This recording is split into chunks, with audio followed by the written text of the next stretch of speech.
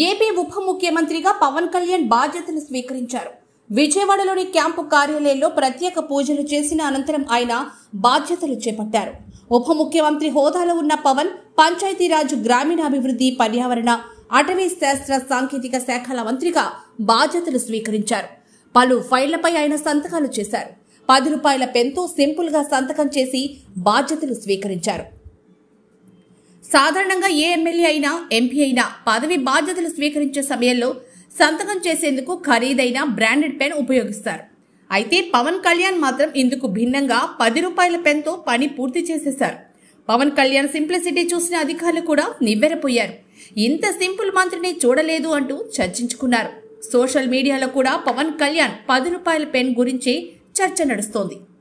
అయితే మరోవైపు తన కుటుంబంపై ఉన్న ప్రేమను కూడా పవన్ అదే సమయంలో వ్యక్తం చేశారు.